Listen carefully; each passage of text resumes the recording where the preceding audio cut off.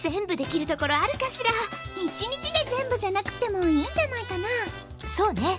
じゃあまずバーベキューできるところ調べてみるわね。あのののかさんルリさん何してるんですか？マナミン。いいところに来たわね。今夏休みの予定を立ててるのよ。マナミンも一緒に考えようよ。じゃあじゃあマロに合宿しましょう。泊まり込みで歌とダンスのレッスンしてマナミンナイスアイディアもうだいたいアイディアは出尽くしたわね。全部できるといいな。楽しみですね。でもルリさんがこんなに夏休みを楽しみにしてるって思わなかったです。そう？だって来年は3年生だもの。今年のうちにいろいろやっておきたいもの。そうですね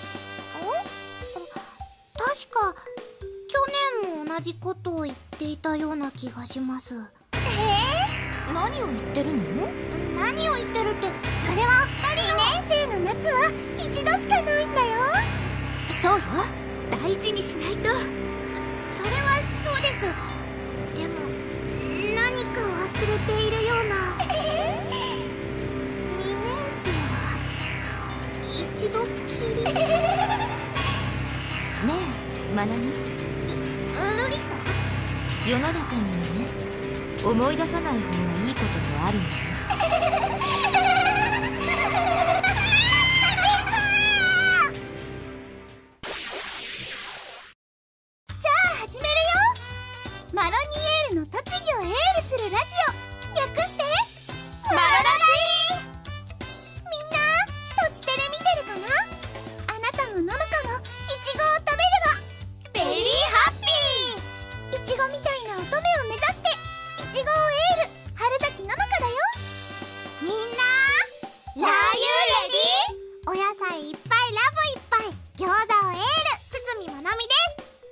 ダサいって言ったらうりうりしてあげる。やればできる子嫌いじゃないわ。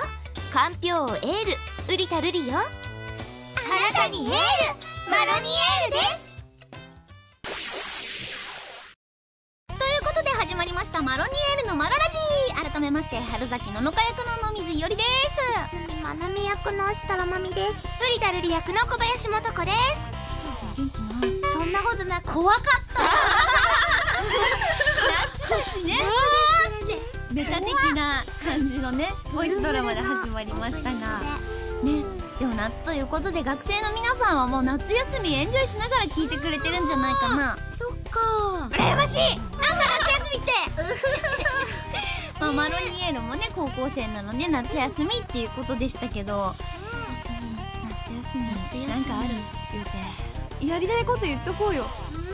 私ね、うん。今年の夏はねうん山登りがしたい。ずっと言ってるでしょそれ。それずっと言ってる。なんで知ってんの？私の某スイートアームズっていうユニットの一人が言ってた。男がずっと高尾山に登りたがってるう。るさいうるさないんでなんで？じゃああのねうん。海か山かって言ったら私山に行きたくてでなんかこうね運動がしたいの。歩くの好きなの。おー体育会系。この暑いのに？え気持ちくないですか？あ？そうでもないですか？いやいや多分ねみんな聞いてだよねだよねってなってるんだけどちょっとメンバーがごめんなんかかエアコンガンガン効いた部屋で漫画とか読んでたいあー。野水なのがダメだったね。あとまた設楽と野水なのがせいぜいなんかプールに行きたい。室内のでしょでも私が沖縄行きたいとか言うと嘘野水さん沖縄とか興味あんの？太陽の下とか似合わなそうだよねってすごい言われる。太陽は似合わなくても野水さんは多分マナティーとか興味ある。も ん何でもかんでも違う海の生物に興味あると思うなよ 夏エンジョイって言うとなんであんなにカップル集がするの？休みだからじゃない？そうやってちょこうやって夏休みうがってるよ。そんなことないよ。夏エンジョイ女子女子女子ってことだってあるよ。大丈夫かな？大丈夫だよ。誘ったら行ってくれるもちろんですよ。あうん。違うよ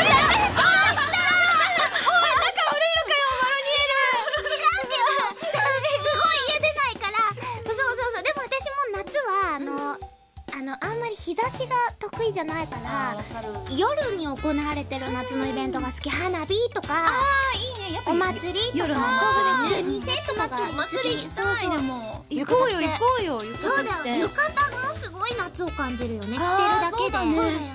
なんかやりたいね浴衣着て。遊びに行こうよ。行きましょな行くってごめんって。そんな暗い顔すんねん行こうぜ。行こうぜ。より。普通歌読んでみようかな。いっぱいもらってるからさ。えっとですね稲さんからいただきました。ありがとうございます。マロラジ第9回のオープニングのドラマを最初聞いてカピョーンの普段の行いに業を煮やしたルリにカピョーンが料理されてしまったというブラックな話だと思ってしまいました。ルリの料理の説明をカピョーンサラダにカピョーンカルボナーラとして聞くと猟奇的な話に。さらに最初に「今日はカピョーン見かけないね」とかのセリフがあると確定ですね。なるほどすごいね。闇落ちルリタンですね。闇フラグ。ねなんか。あれ？今日カピョーンさんいないですね。どうしたのかしらカピョーン。見ないわねっていう。ところで二人とも？食べて。私が作ったかんぴょう料理なのって言ってボートの絵が最後に出て終わるボイスコミック。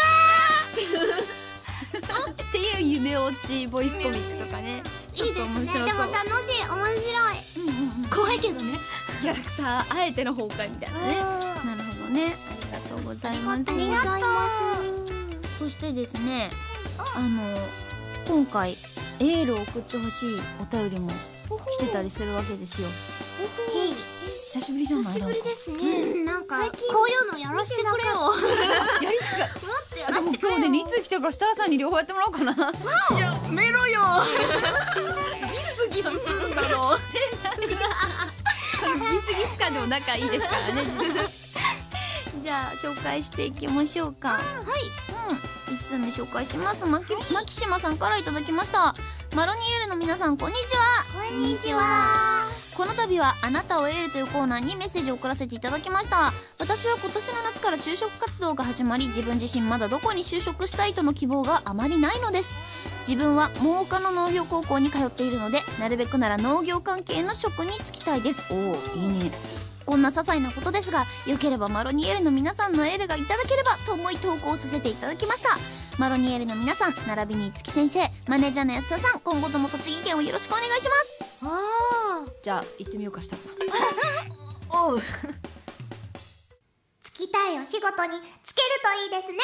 応援してます。よろしくお願いします。たくさんはいいちご育ててくださいぜ。ひ本当にね。うん。そしてもう一通来てるので。はーいじゃあ読みましょうか孫一さんから頂戴しましたありがとうございます。ありがとうございますいおりんもちょ先生設楽さんこんにちはこんにちは初投稿そしてまなみファンですなんだよ。なんだよ。作為的な私が私が読みましょうか 僕は工業高校の電気科2年なのですが夏休みの間にうん。高校生ものづくりコンテスト電気工事部門に出ることになりました。はい。めでたい。すごいね。県大会で2位以内に入らないと入らないとうん。関東大会に行けないけどどうしても行きたいということでうん。関東大会出場のち関東んわかんないな。あ、の後出場した後関東大会でいい成績が出せるように皆さんのエールをお願いします。じゃあもうまなみファンだったらやっぱりこれはもう設楽さんにお願いしよう。はい。お、いける。いけるじゃあ孫一さんへのエールお願いします。2位と言わずトップですよトップ孫一さん頑張りましょうお電気関係のとこ一切スルーできたねねえぜひ頑張ってほしいなと思いますうんがとうございました。そしてですね、まあ、夏ね浴衣で祭り行きたいってさっき言いましたけれども行きたい。なんと今日は大事なお知らせがあります。聞かせてください。聞かせてくださいリーダー。栃木テレビでは栃木テレビ15周年記念企画宇都宮夏の祭典スペシャルと題してふるさと宮祭りと宇都宮花火大会を2週続けて生中継します。この生中継をエールすべくマロニエールの書き下ろしオリジナルうちわを作成しました。それが浴衣なんですね。そうなんです。多分今絵出てるはずです。私たちもビジュアル見ましたけれどももう先生の渾身の書き下ろしということでこちらなんと無料でもらえる場所があります。すごい。無料配布先はカードラボ宇都宮店さんラウンド87さん。ですね87さん。ル・フェステさんで配布します、またはマロニエールのグッズ販売店。アニメイト宇都宮店さん。いいねこの店さん。プラムライブショップさん。こちら秋葉原店なんだそうですけれどもこちらでグッズをお買い上げの方にのみ先着順でプレゼントとなっております。はい詳しくはとちテレアニメ専用ホームページでチェックしてみてください。グッズを買うか無料配布先でもらうかということで。これねあの数に限りもあるそうなのでぜひお早めにゲットしてほしいなと思います。それでは普通ともたくさん紹介したところで最初のコーナーに参りましょう、これは栃木県民ですかのコーナー。ではでは栃木出身のもとこさん、紹介してもらっていいでしょうか？えー、じゃあマロラジネームくずのはさんからいただいてます。はい。皆さんこんにちは。栃木県民です。こんにちは。私の思う栃木あるあるですが、宇都宮駅からオリオン通り遠いです。私は宇都宮ではない栃木の市在住なのですが、うん宇都宮駅から歩いてオリオン通りに着くまでに20分くらいかかり、うん。その距離を実感してしまいます。帰りの電車内でうとうとするのがデフォルトとなってしまいました。職場の先輩に同じようなことを言っている方がおりこれはあるあるではないかと思いメールしてみました実感している方が他にもいると嬉しいです。といただいてます。なるほどね。私たち行った時車でブーンってさせてもらったから、あれだけどでも確かに結構景色見る余裕の時間があったもんね。ね私ねすごい実感してる。餃子探して歩いたの。かそう視察した時にさうんうんうん私たち帰り一瞬解散したでしょ？新幹線乗るまでの時間に。あの時私餃子を探してそう街をわーって歩いててうわーってオリオン通りに向かったの。でももう正直もうほんと折り返し地点みたいになっちゃった。時間なくて。あうわーって歩いてスッて曲がってみたいな。オリオン通り見えた。さあ帰らねば時間がって。マジか。じゃあ見てる時間はなかったんねですか、オリオン通りを満喫する時間はななかった。まさに設楽さんが体感した話だったね。これあるあるでしたね。ありがとうございました。それでは続いてのコーナーに参りましょう。続いてはおしゃこめイラストコーナーは皆さんからお寄せいただきましたマロニエルのイラストをご紹介していきます。まずねののかのピンのイラストをいただいてます。嬉しい嬉しいよ。これじゃあ設楽さん読んでもらっていいですか？はい。HYMNEDSK さん。ヒュンネデスクさん。どうも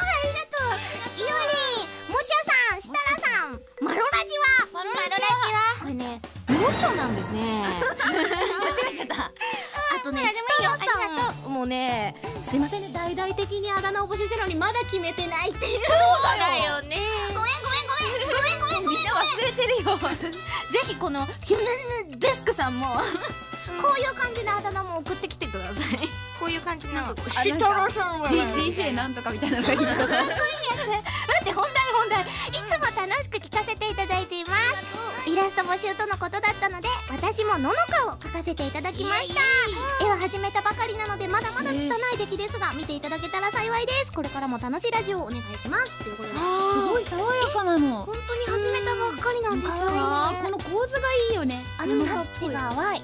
そうそうそう、爽やかですねでもねごめん言っていい？最初このスカートの陰影がねちょっとパンツ透けてるのかと思ってドキッとしちゃったちょっとわかるそれ。ちょっとちょっと喜んじゃった。わおっさんの私がいる。先生に怒られちゃう。最後先生に怒られちゃう。あそれやってません。見せませんって怒られちゃう。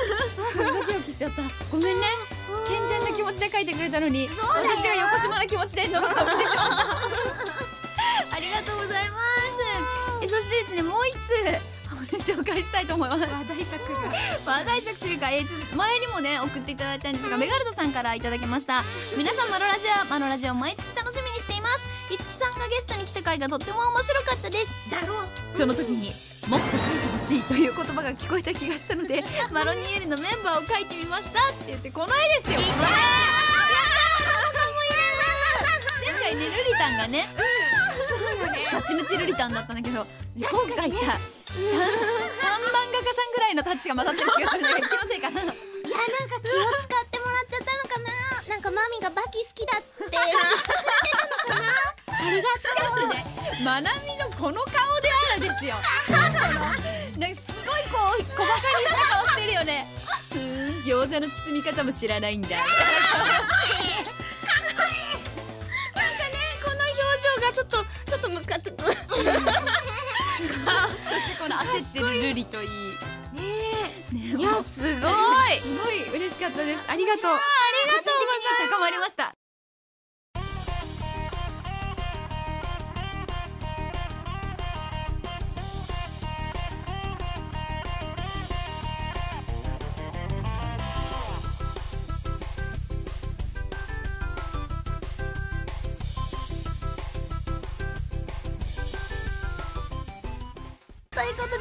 マロラジいかがだったでしょうか？そろそろエンディングのお時間なのですが！はい。ここでまたの発表があります。ななななんだって？これは重大ですよ。ななななんだって？7月17日より全国のご当地萌えキャラをもっと幅広く知ってもらうためのコラボ地域萌え活性化プロジェクトを行っているウェブサイトちなみとタイアップしてイラストコンテストを実施中です。今回第5弾ということでマロニエルの春崎なのか堤まなみ瓜田瑠璃の3人を自由に描いたイラストを募集します。もちろん栃木の名物や名所も一緒に描いてくださっても OK です。餃子を美味しそうに食べる3人那須高原を楽しそうに訪れる3人など栃木愛あふれるイラストも大募集しています。こちらですねマロニエール賞が3人分各キャラ分そして五木さやか先生賞最優秀賞には豪華な商品もあるということです。募集期間が8月31日までとなっていますのでどしどしご応募ください。詳しくはとちテレアニメ専用ホームページでチェックしてみてください。だけねおしゃこめイラストを送ってきてくれてる皆さん結構ねみんな力ありますから。そうですよ。ぜひ。どうしよう筋肉質なのばっかりになったら。仕方ない。それが我が軍の色だ。ねそしてまだまだ隠れてる猛者もいっぱいいるはずですからぜひこの機会にちょっとね、おしゃこめはちょっとためらってたけどこのイラストコラボならいいかなって。なんでだよ。ためらうなよねぜひ存分に腕を振るってほしいなと思います。お願いします。それでは今回のマロラジ以上となります。え今来たばっかりではでは。ふつおたこれは栃木県民ですか？おしゃこめイラストコーナー二次元からマロニエールが来るそうですよ。すべてのコーナーへの応募はとちテレアニメ専用サイトから投稿していただけます。今回配信動画の中で紹介させていただいたメッセージ写真を送っていただいた皆様にはマロニエーラーの皆様にはマロニエールのグッズをプレゼントさせていただきます。いただきます各コーナーの応募は随時受け付けておりますのでどうかなと思った時にもすぐどんどん送ってきてください。はいおしゃこめも何もかも各3人へのお便りたくさんお待ちしていますのでお願いします。します。そして私たちマロニエールはこれからもとちテレの専用ホームページで毎月さまざまなお知らせをしちゃいます地元アニメ企業団体の最新情報とちテレで放送するアニメ情報そして見てくれているみんなからの質問やお便りも大募集しております。新婚マネージャーの安田さんのラブラブツイッターも要チェックですよ。要チェックですよ。奥さんと一緒にこんなアニメ見てましたとかつぶやき。はよはよバカしろ大事なお知らせもねいち早くつぶやいてくれますからチェックしてみてください次回のボイスコミックは8月1日に更新予定です。お楽しみに。それじゃあみんなまたね